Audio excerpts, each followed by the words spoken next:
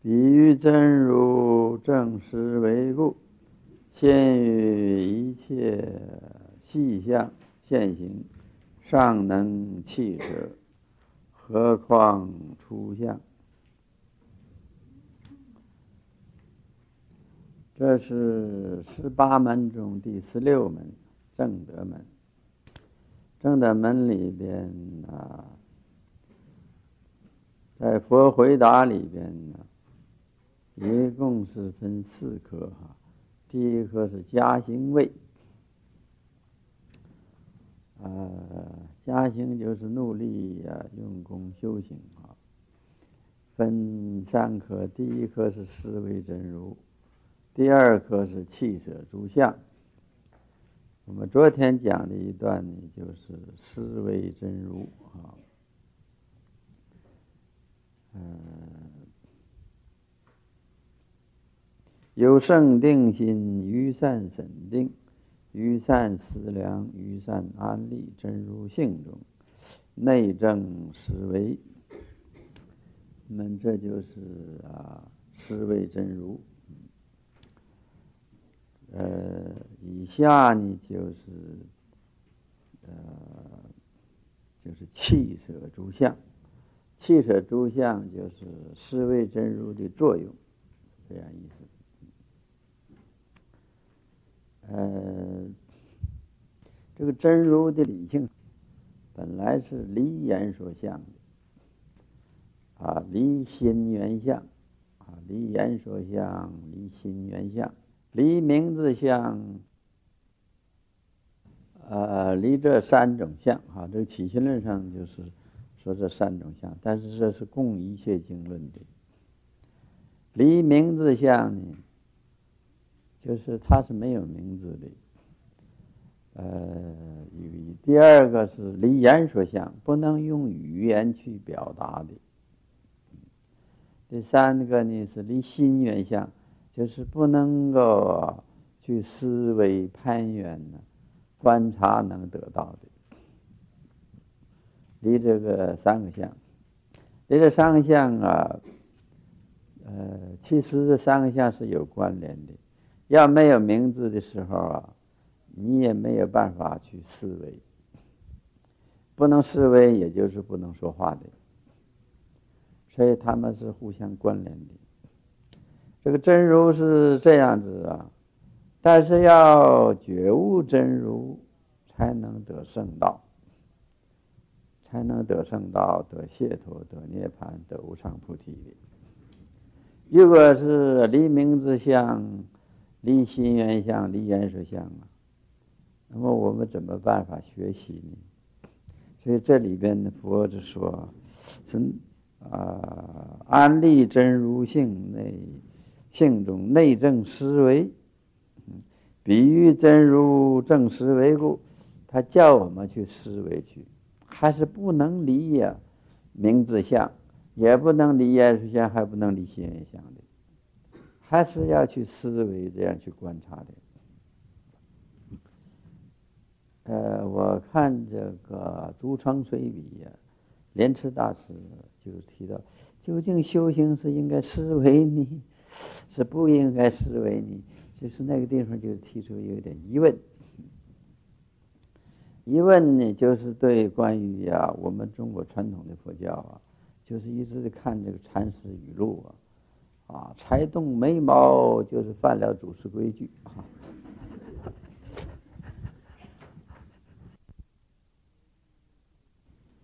所以弄的这个修行的这件事啊，就是老是搞不清楚，不知道怎么才对。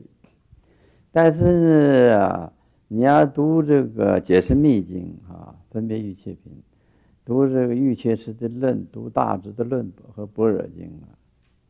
就会明白，还是要思维，还是要思维的。但是啊，呃，也不是说啊，呃，离名字相、离言相、离心相不对，也不是，就是有有言说，入无言说，有有相而无相。这个修行的这个方便，修行这个次第是这样子。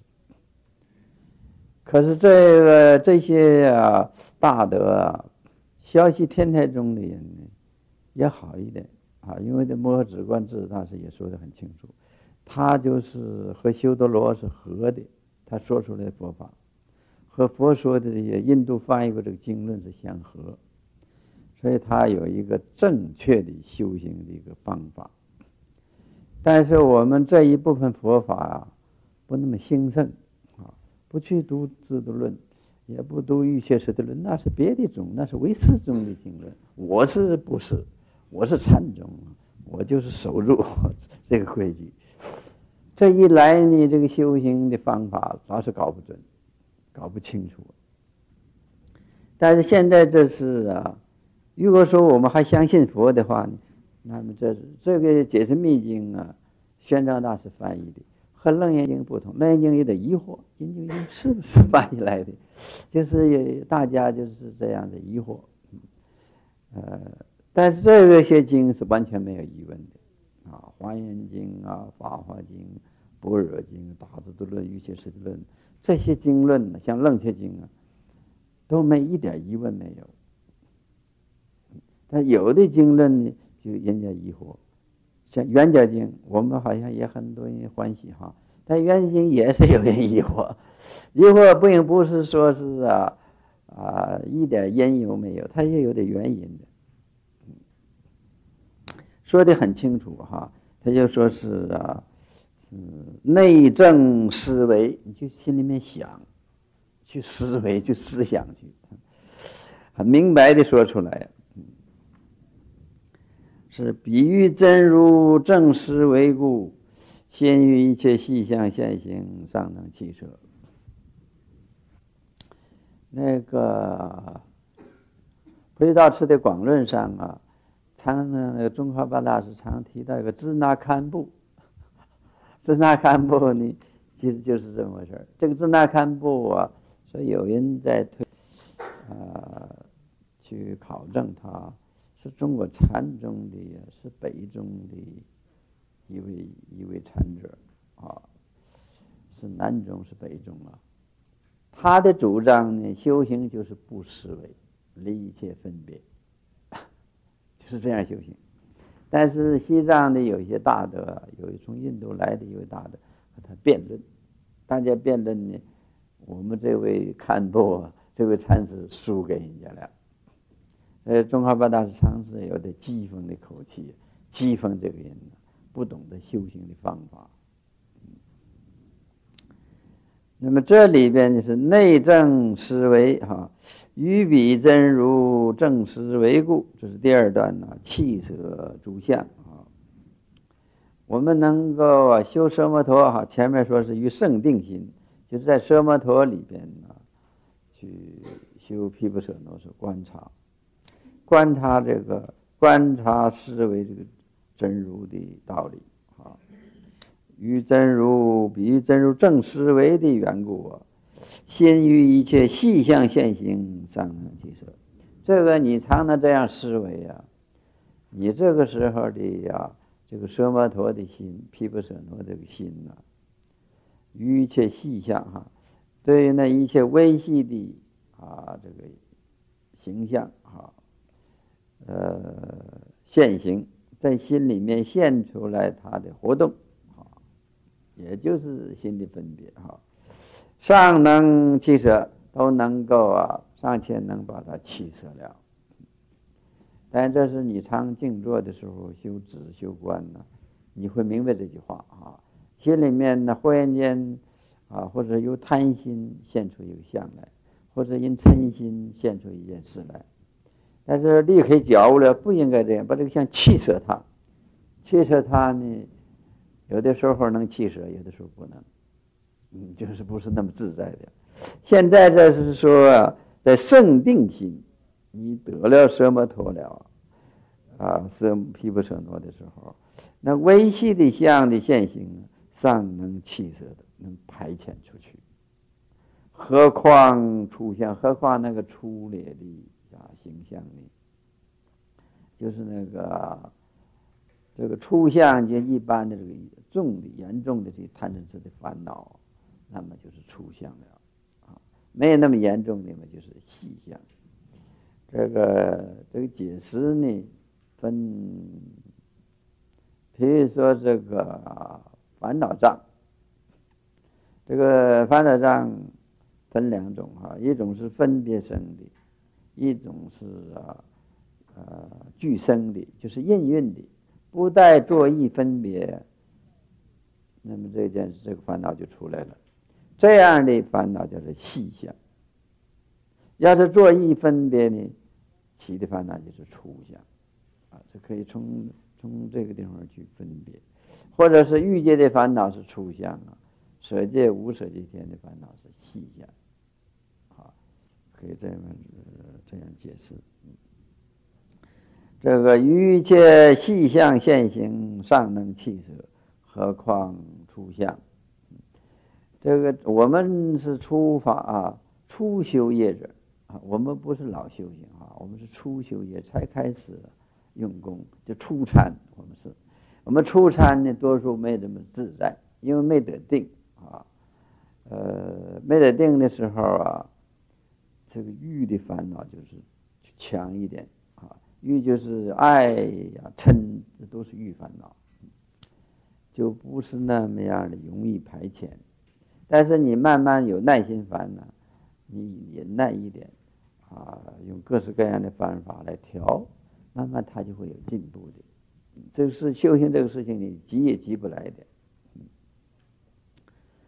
何况初相，那么就是啊，这是气色诸相啊。这一段呢是说一个大概啊，说出个大概的总标。下边呢，善男子言细相者，这一项呢是别显。一样一样的说出来，什么叫做细相？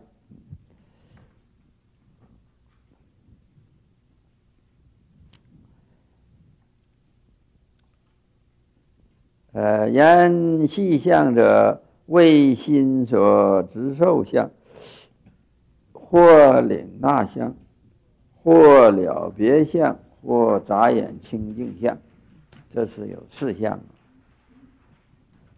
这是像啊，在那个前面那个第十页，第十页的后半页里面解释过了，啊，那有四义啊，通达这四义名为知义，就是这四种相。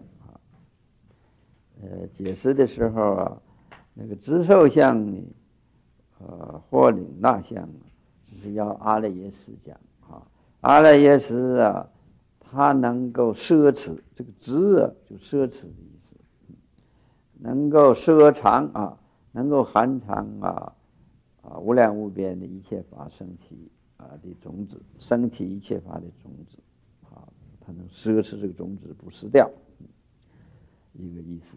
这个受呢，就是知识角受，啊有感觉，就是它能够支持着这个眼耳鼻舌身这前五根呢，令生觉受。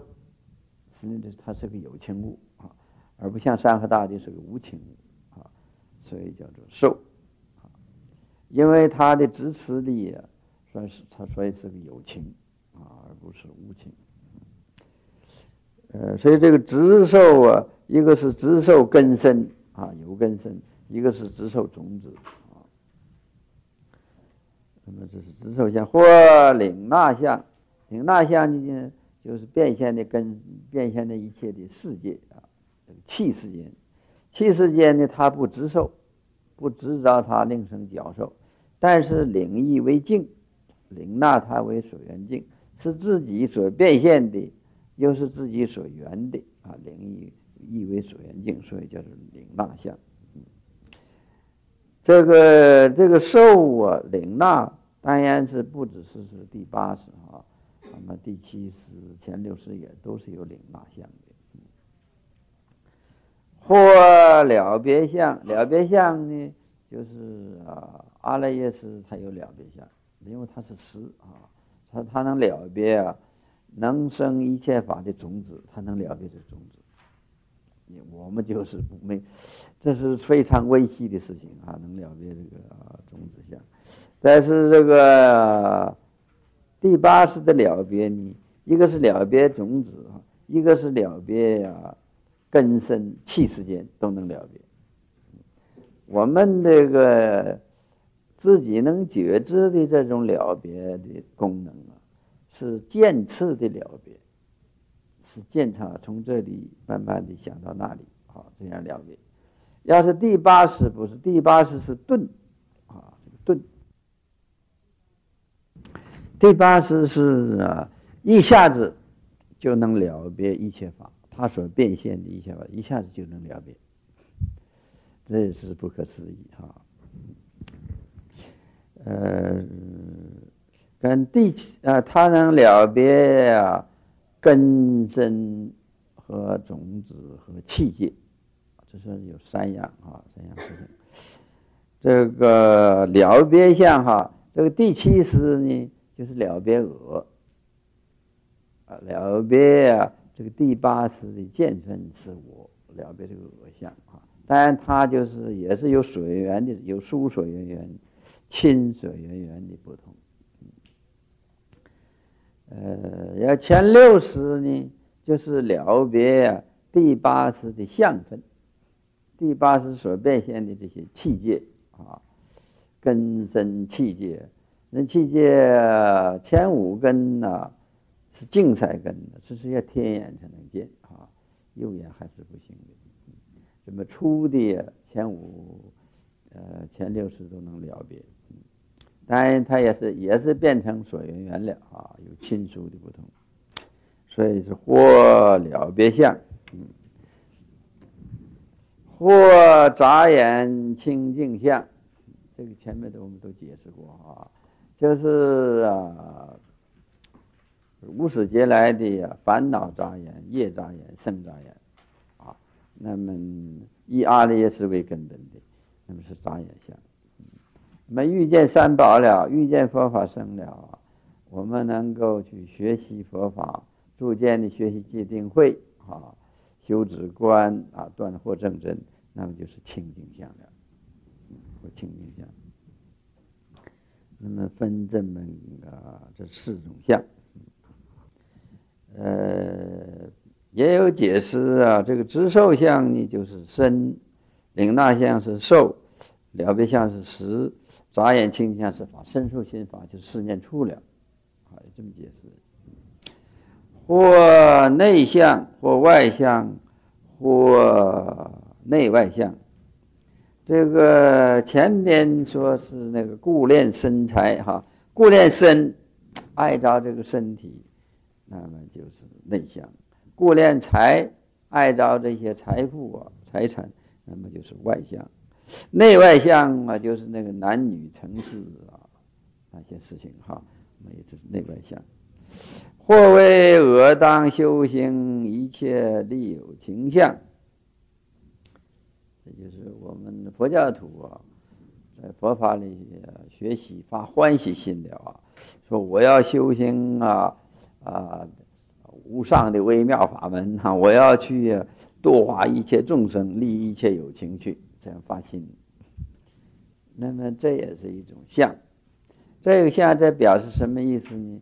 表示这个人呢，他没有无相的般若的智慧，就是啊，知道啊有修行这件事，有我有我所啊，我我能修行，那这就是。有上无佛道可成啊，他不是有佛道可成啊，有无上菩提可得。我要修行，这样子哈。那么他知道有一切众生在生死的流转苦恼，有众生可度，就是这样说。我当修行一切利有情相，是这样子啊，这是有所得的呀，爱见大悲的菩萨的相貌是这样子。但是这个事情是这样啊。呃，已经入圣道的，成就了无相般若智慧的菩萨，他能够啊，也能修行圣道，也能广度众生啊，而又能离一切相。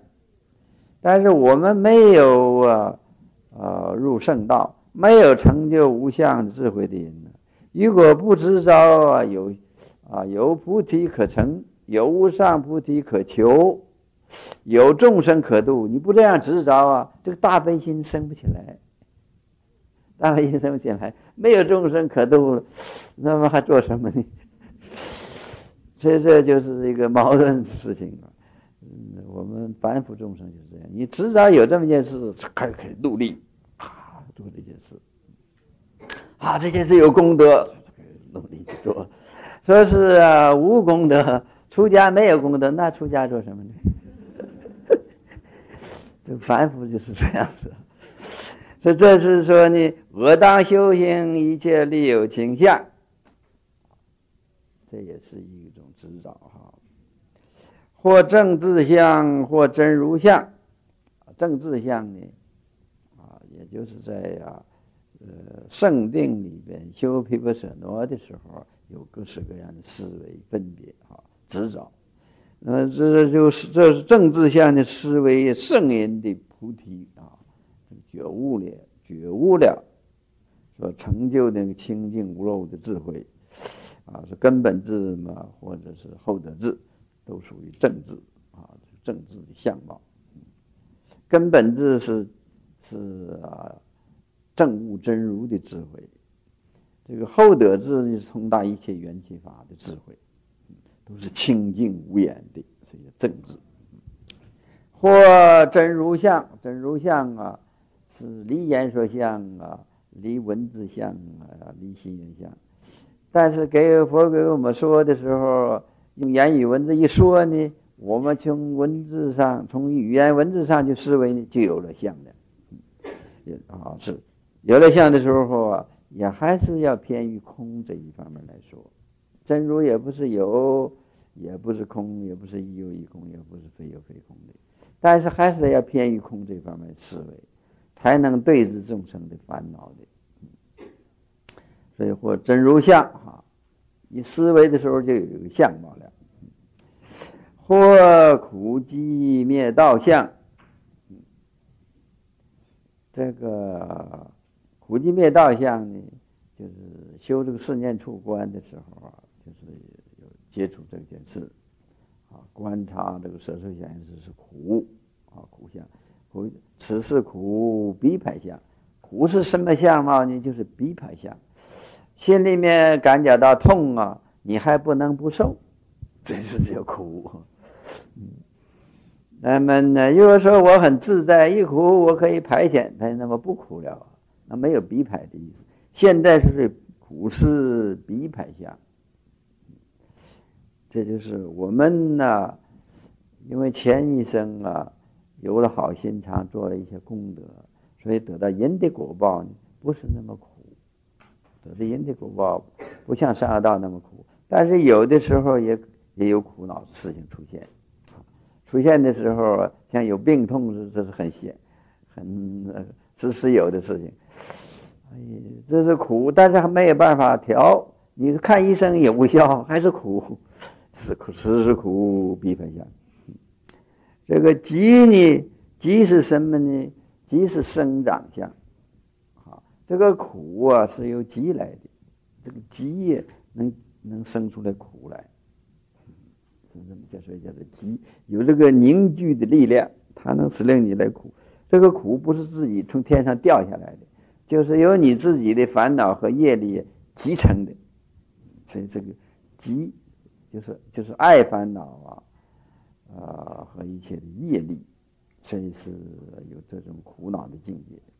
要是阿罗汉断除了这个爱的话，断除了一切的烦恼的时候，这个积的力量就没有了。积还是能积出来苦，能积聚来很多的苦的。但是因为他有毕竟空无我无所的智慧呀，与那个真如相应了啊，这苦不能苦，苦不能苦恼他。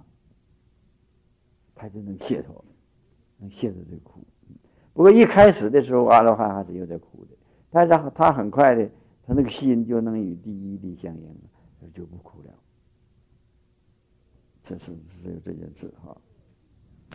这个灭地相，这个灭地也是啊，诸法寂灭相啊，清净无眼的，那这就是刚才说啊，离心缘相，离名字相，离言说相。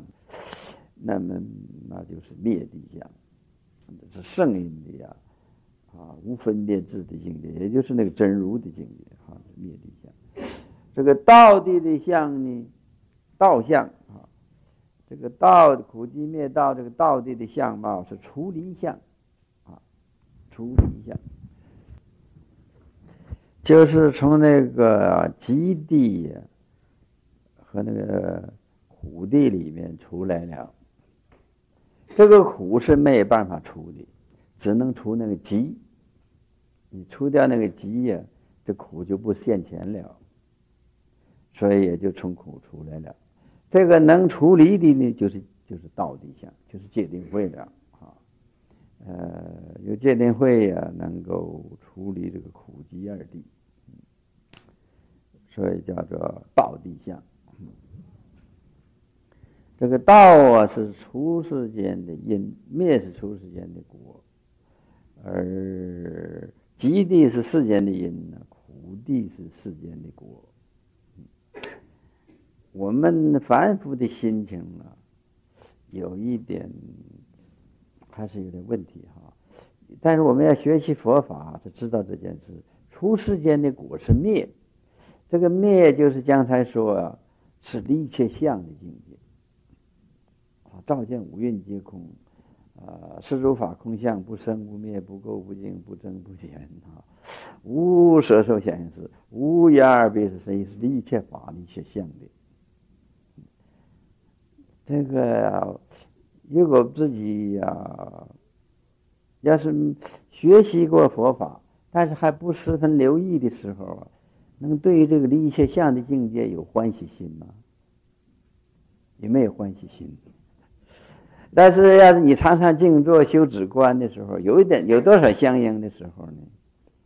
才觉悟到，觉悟到啊，心不与万法为伴侣的时候，是最自在，是清净无言，是自在的。但是我们初开始的时候呢，是要不与万法为伴侣，才能有。其实。只是相似的了，也并不是真实的达到那个境界，就有感觉到有一点刺激啊，有一点欢喜。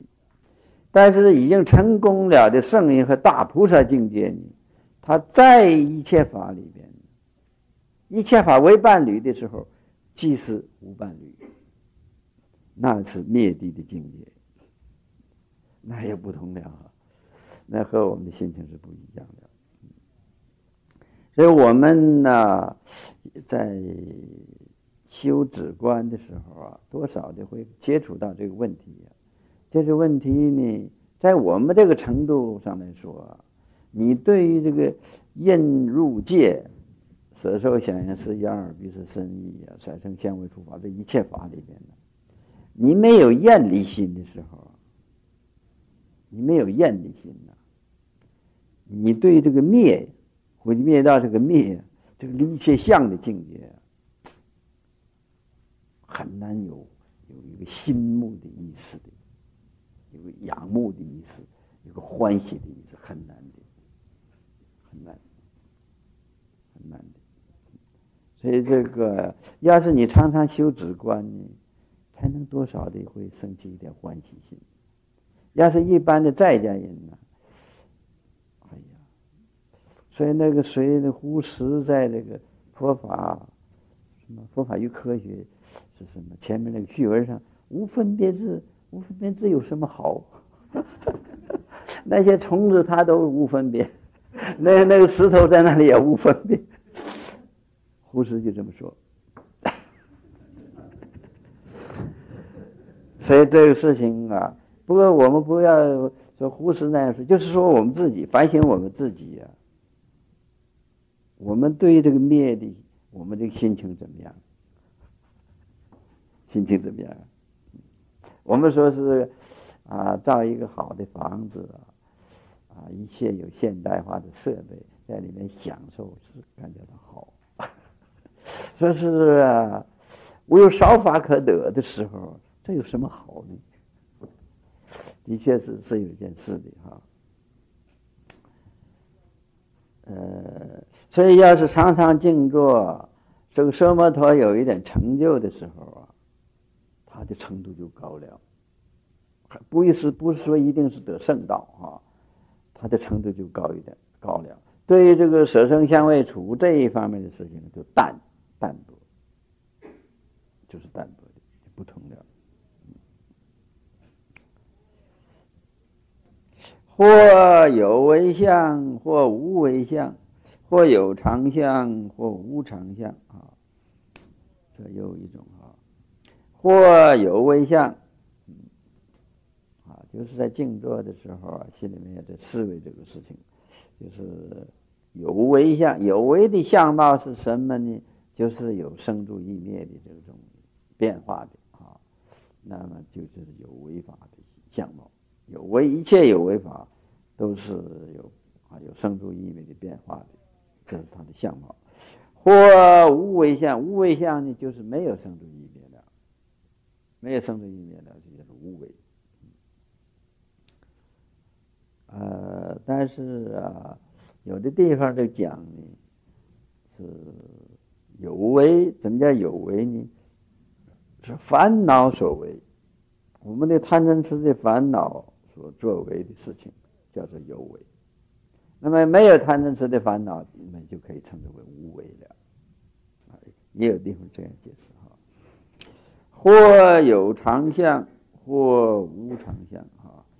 这个有常相就是没有变异的啊，没有变化哈，也就是那个没有生住意灭的变化的，那么就叫常相，好有常相。或无常相呢，就是有生住意灭的变化，那么就是无常相。所以这两个和前面有为无为啊是相通的啊，这样说。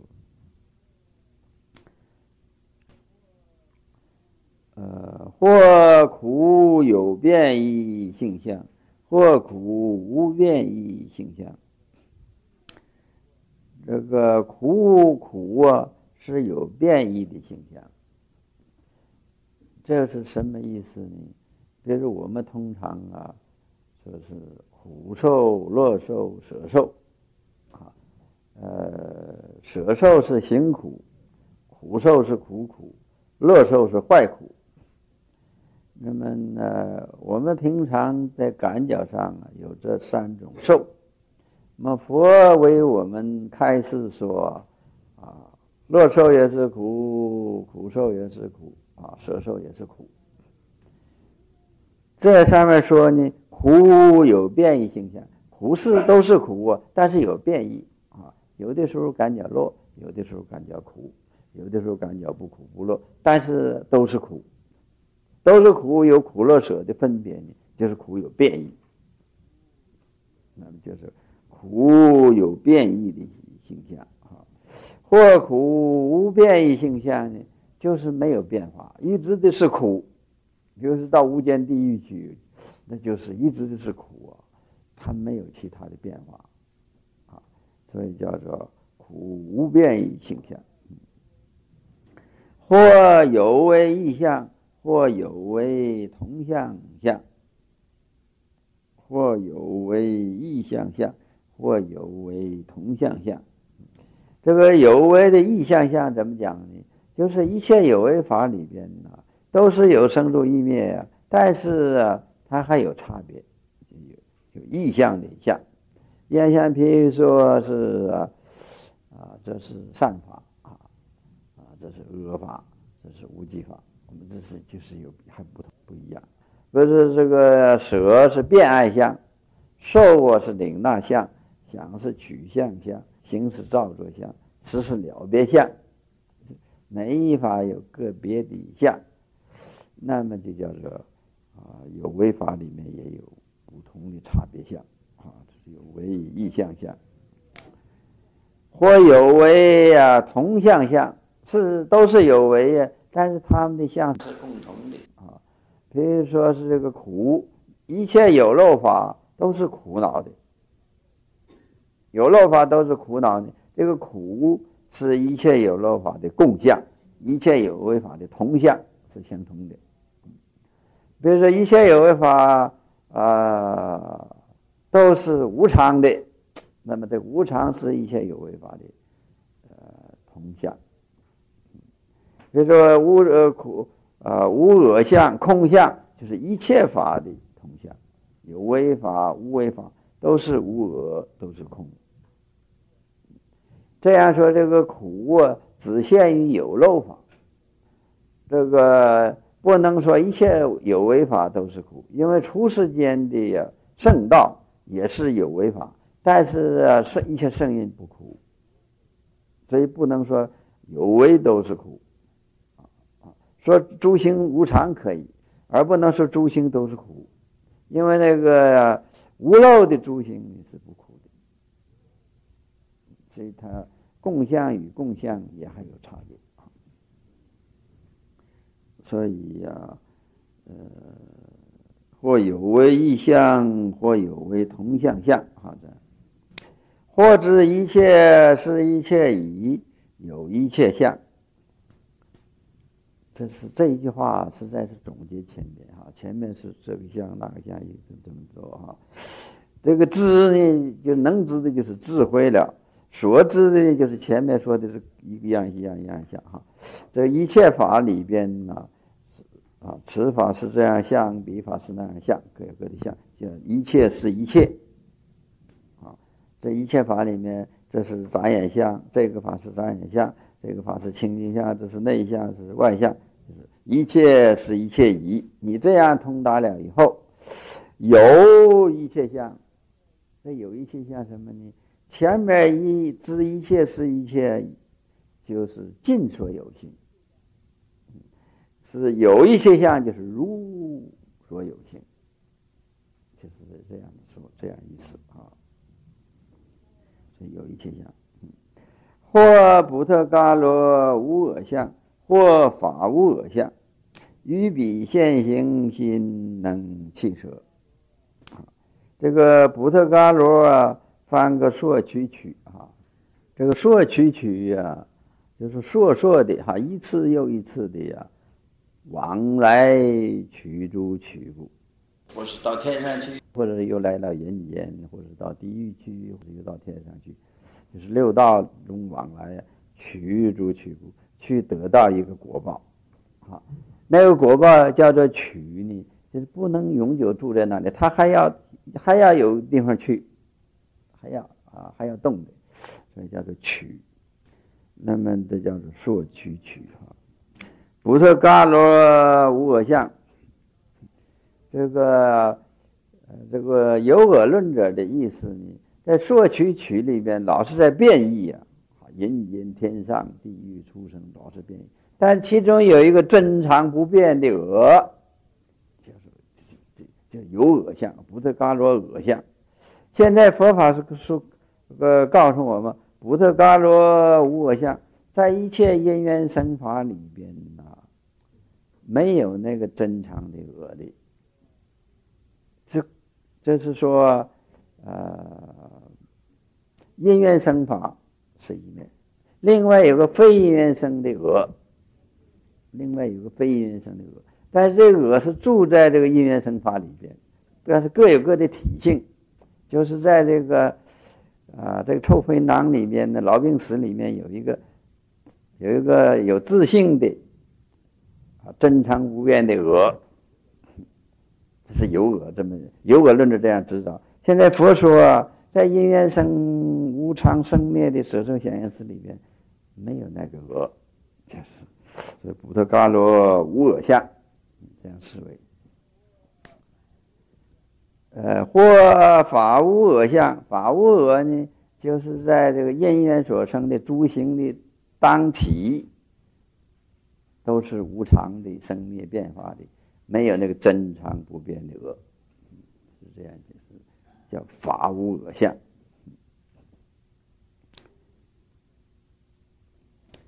这个修这无我观呢，我看很好，很容易修，就是这样思维嘛。思维这个身体里面没有我，那初开始感觉那有什么用呢？用处很大。你常常修，你就知道，就是用处很大很大。